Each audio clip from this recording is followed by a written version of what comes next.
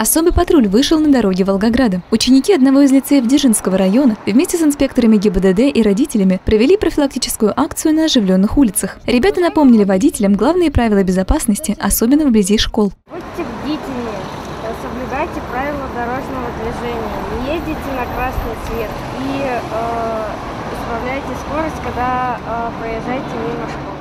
А пешеходам, в первую очередь детям, школьники напомнили, что переходить дорогу нужно только на зеленый свет и убедившись, что все машины остановились. Такие акции проводятся в Волгограде регулярно при поддержке сотрудников госавтоинспекции. А работа юных инспекторов дорожного движения помогает повысить культуру поведения школьников на дороге и снизить уровень детского дорожно-транспортного травматизма.